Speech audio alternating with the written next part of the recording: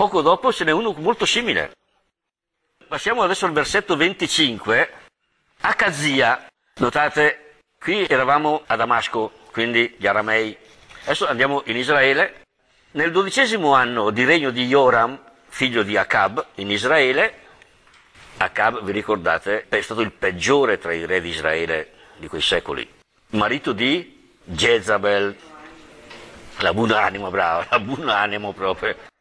Acazia, figlio di Joram, divenne re di Giuda all'età di 22 anni. Regnò un anno a Gerusalemme, quindi dura poco, fa fuori alla svelta. Sua madre Atalia, ecco, ecco perché merita di essere sottolineato.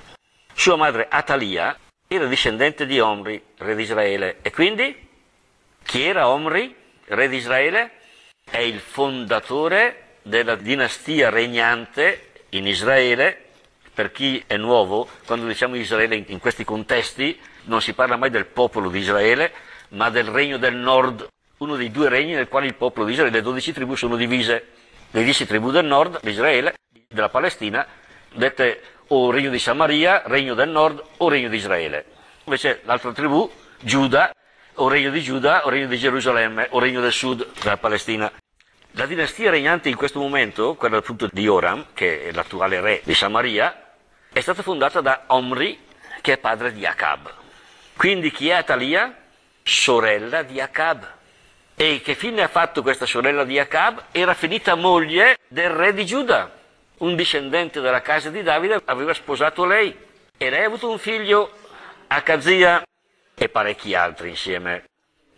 E cosa fa Acazia a Giuda? Ma scusate, se Atalia, da quel che appare poi, da come vanno le cose, era figlia di Omri, era stata educata come Acab, Acab è un idolatra connaturato, ce l'ha nel sangue, Atalia, le mie tammei, e come avrà educato i suoi figli Atalia? Da idolatri, ma sono discendenti di Davide, C-S-N-F.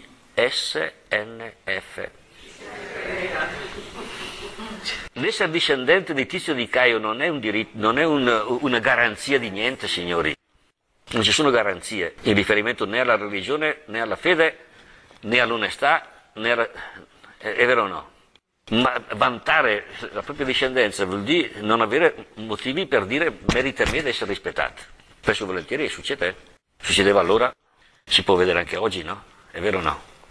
E comunque, proprio come conseguenza, Acazia, re di Giuda, la parte buona di Israele, potremmo dire, no? Agì come la famiglia di Acabe, anche lui andò contro la volontà del Signore. Cioè porta l'idolatria nel centro stesso di Gerusalemme, in modo ufficiale. Non per nulla era imparentato con la famiglia di Acabe. Il commento proprio molto distaccato, molto disinteressato dell'autore biblico di fa chi? Il buon sangue non mente. Si vede so che senderei, no? Ecco, insomma, il proverbio più o meno di sé, è vero o no? Acazia andò insieme con Joram, tutto sommato sono cugini, i due re sono cugini, a combattere contro Casa e re di Aram. E qui i due filoni si incontrano. La battaglia si svolse a Ramoth di Galad. Joram fu ferito dagli aramei e si ritirò nella città di Israel, che è il luogo nel quale suo padre e sua madre hanno sempre utilizzato come reggia e dove sua madre, Jezabele, continua a fare la regina madre lì, non si è mai spostata a Samaria, che era la capitale ufficiale, per farsi curare le ferite che aveva ricevuto a Rama dagli aramei durante la battaglia con Kazael. Poiché le ferite di Joram, figlio di Acab, erano gravi, Akazia, figlio di Joram, re di Giuda, andò a trovarlo a Israele. Eh, sono cugini, stanno combattendo insieme, i due sono lì con i loro due eserciti, uno dei due viene ferito, l'altro fai come sta, cosa succede, a che punto è. Nel frattempo, mentre il re è a Israele che ci cura le ferite, capitolo 9, il profeta Eliseo chiamò uno dei profeti e gli disse preparati a partire, prendi con te questa boccetta d'olio e va a Ramoth di Galad.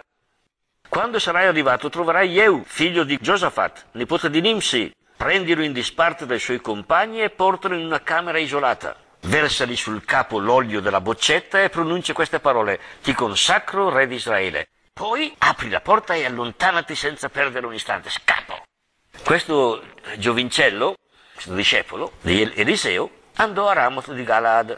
Arrivò mentre i capi dell'esercito erano in riunione, perché persa la battaglia non è persa la guerra, ma bisogna organizzarsi, no? fare il punto della situazione studiare una nuova strategia, eccetera, eccetera. Ho una cosa da dirti, comandante, disse. A chi di noi devi parlare? chiese Yeu, che è comandante dell'esercito. A te, comandante, rispose il profeta. Yeu si alzò e entrò in casa. Il profeta gli versò l'olio sul capo e pronunciò queste parole. E che il Gantacca una bella fetta. Il Signore Dio di Israele dichiara ti consacro re del mio popolo, re di Israele. Sarai tu a distruggere la dinastia di Acab, tuo padrone di un tempo. In questo modo vendicherò tutti i miei profeti e i miei servitori fatti uccidere da Jezabele i discendenti di Acab devono sparire. In tutto Israele eliminerò dal primo all'ultimo ogni maschio della famiglia di Acab. Tratterò la sua famiglia come quella di Geroboamo, figlio di Nebat, e come quella di Baasa, figlio di Achia. Il corpo di Jezabele non avrà sepoltura, ma sarà divorato dai cani nella campagna di Israele. E detto questo, il profeta aprì la porta e corse via. Lui il Gafan aprì la porta e corse via, ma prima che l'ha attaccato una, un vagù. Che senso ha? Questo annuncio che il profeta fa così, così sviluppato ha lo scopo di convincere Yehu che quello che farà, distruggere la famiglia di Acab, è volontà di Dio. Sì o sì? Lui la presenta così, la presenta come fosse stato... La dinastia di Acab è stata un po' fatta male, si è distrutta con sua. E quindi? Merita la punizione. Merita la punizione. Se Dio punisse gli uomini per quel che meritano, aschi... Eh? Allora sì che sarei da ridere o da piangere. sarei da piangere. Signori, chi racconta questo episodio lo racconta come qualcosa che deve ancora avvenire o come qualcosa che è già successo? E quando il racconto riguarda fatti già successi, attribuire a Dio la volontà del male, che senso ha? Cos'è che vuol dire l'autore con questo meccanismo, con questo escamotage letterario? mettere in bocca a Dio la volontà, che tra l'altro è il profeta che a nome di Dio, ma se la inventa lui il giovincello, né? Perché Eliseo che mi ha detto, tu varrà di que... un giro e via. È lui che ci ha attaccato tutto. Ma comunque, al di là di questo, che senso ha che tutto quello che lui deve fare alla famiglia di Acab, deve farlo per volontà di Dio e per realizzare così quello che il profeta aveva annunciato a Acab se non cambiava strada. Se tu continuerai così, finirai così, così, così, così e così. Che senso ha? È spingere Yehu a fare quel che farà? È giustificare Yehu per tutto quello che farà? Gli mette la pulce nell'orecchio, consacrandolo re, guardate la differenza. Mentre a casa l'altro giorno dice, il Signore mi ha fatto sapere che tu sarai re, con Yehu non gli dice tu sarai re, lo consacra addirittura. In fondo fa con Yehu quello che Samuele aveva fatto con Davide a suo tempo. Lo consacra re. Poi nell'altro caso è stato Davide a lasciare tempo al tempo. Yahweh vedremo cosa fa.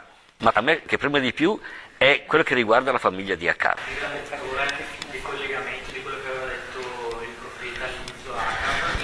Notate, all'epoca di Acab, chi si ricorda, oppure a casa magari andate a rispolverare quei capitoli là, che sono pochi capitoli precedenti. Le minacce fatte a Acab erano sempre condizionate a che cosa? Se tu non cambi. Quando il male è annunciato come futuro, sta a dire stai provocando la tua rovina, ti avverto, puoi cambiare, se cambi tutto questo lo eviti. Acab è cambiato un pochino, ma non abbastanza, tanto da far scivolare per un po' le conseguenze delle sue scelte.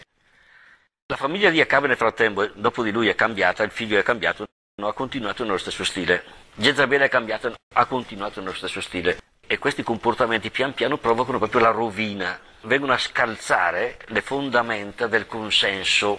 Cioè, visto che si tratta di un re, di una regina, se non c'è consenso da parte del popolo, insomma, o diventa un dittatore sempre più sanguinario, se no, eh, il momento che... Questo è il dato di fatto. Ma attribuire a Dio nel racconto qualcosa di negativo, conseguenze per la famiglia di Acab, che è già successo, attribuire a Dio la volontà che succeda, cosa vuol dire? Che è sempre presente. Bravo nonostante la famiglia di Acab abbia fatto di tutto in tutta la sua esistenza per allontanare Dio dal popolo di Israele, in realtà Dio è sempre rimasto presente e anche per la famiglia di Acab c'è comunque in atto un progetto di salvezza che la riguarda, nonostante tutto. Quindi ecco, questo è uno di quei casi in cui leggi una cosa e il Dio un'altra, perché l'autore è preoccupato di che cosa? Di fare... Stavo dicendo? Per noi, sì, è una delle chiavi di lettura questa qua il male messo in bocca a Dio o volontà di Dio, dichiarato volontà di Dio, se è annunciato come futuro, vuol dire la strada che hai intrapreso ti porta lì. Ti avverto quindi, puoi anche evitarlo. Se cambiet. Se si descrive qualcosa che è già successo, un male passato, vuol dire l'uomo avvertito non è cambiato, si è rovinato, ma Dio restava presente anche per lui. È il linguaggio biblico che non è il nostro. È una delle differenze culturali pesanti proprio su questo piano. Per cui uno che legge il racconto così, ah, ma no, che Dio, che Dio il questo che, ecco. Spesso volentieri capita. No, non è Yeu che inventa questo, è l'autore biblico che cerca di farci ragionare. Ecco, di fatto però qual è il problema? Che quello che Yeu farà è quello che ognuno che subentrava all'altro faceva in quel caso. Perché? Perché se tu ne lasci anche uno solo, c'è pericolo che quello un domani... È questo il problema. O lui o qualcuno che si serve di lui per mettersi al tuo posto. Invece elimini tutti, risolto il problema. Molto umana la cosa, è purtroppo. Beh, Stalin in altro contesto, a livello ideologico, anche lui ha fatto fuori tutti gli altri, da Trotsky a Tessioter, Castro ha fatto la stessa cosa. E d'altronde chi vuol comandare, se vuole essere l'unico a comandare, o trova il sistema di imbrigliarli, o se no. Provate a pensarci,